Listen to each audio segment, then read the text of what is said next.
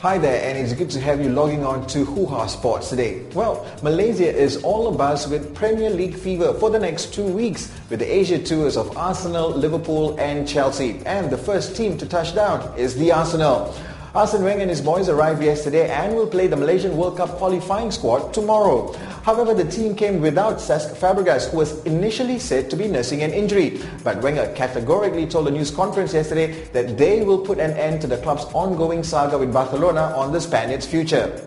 Also not featured on this Far East tour is new signing Ivorian Gervinho from French club Lille. Well, his hairstyle is a topic in itself, but Wenger said the 24-year-old striker is sorting out his family's well-being and arrived in London two days ago. And since he hasn't trained with the team, Wenger decided to leave him behind with some backroom staff who are helping him to acclimatize to his new home. But is Wenger concerned about how his entourage will acclimatize to Asia? As for many of his boys, this is the furthest they have traveled.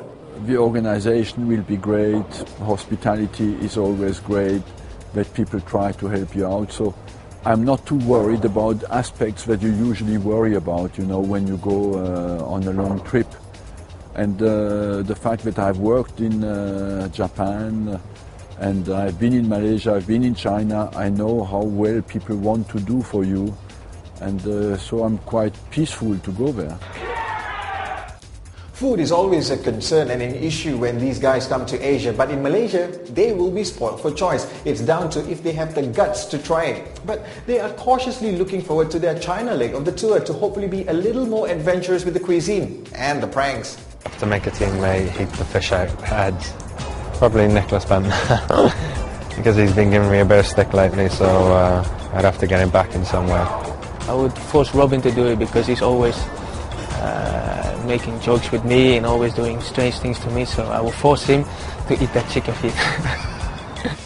I think I will make one of my teammates, uh, I'll take Bakary Sagna, eat the chicken feet.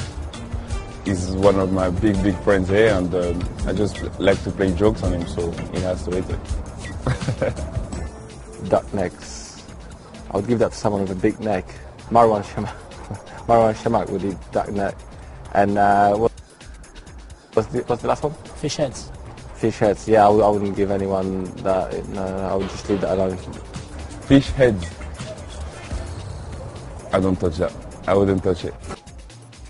Fish head, fish head is nice, especially when cooked with Indian curry. Not forgetting the piece de resistance, fish eyes.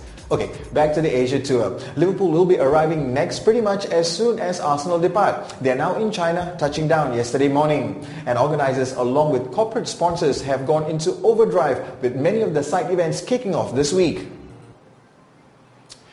Here in KL, corporate sponsor Standard Chartered launched its fan zone at the Pavilion Shopping Centre in the heart of Kuala Lumpur to further add the excitement of the Reds' impending arrival. There are lots of activities lined up and also prizes to be won at the event. And we also caught up with some of the Liverpool supporters who were invited for the launch and asked them who they were looking forward to see.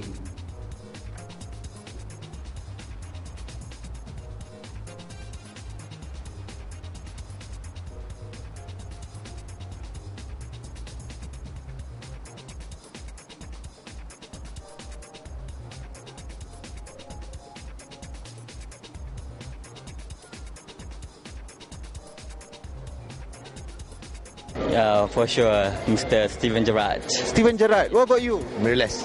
Miriles. Raul Miriles. Very nice. What about you? I got the whole team to see. You want to see the whole team? What about you? Tunggu siapa-siapa nak tengok? Uh, semua lah. Semua? Uh, of course, uh, Steven Gerrard uh, paling utama sekali lah. Tapi kalau tak ada, tak apalah. Semua saya nak tengok. And what about you? Steven Gerrard, uh, King Kenny and uh, Carragher. King Kenny. King Kenny. Yes. Sadly, Stevie G is not on tour as he is still in rehabilitation from a groin injury. And sad as well for the South Korean supporters. Even though it was part of the tour, the deal to take the Reds there fell through. In turn, Liverpool will be making a short pit stop in Singapore after taking on the Malaysian selection comprising of both the World Cup and Olympic qualifying squads on Saturday. And what a real baptism of fire for the Malaysian Tigers playing Arsenal, Liverpool and Chelsea in a span of 10 days. We spoke to former Malaysian team captain and legend Soh Chin Aun on the exposure our boys will be getting. To play against uh, teams like Liverpool and all that, of course they are very much uh, superior compared to us. But it will be a, a good uh, uh, training matches for them. No? It will be a good training matches, especially when you meet this kind of uh, strong opponent. Then only you know how strong you are.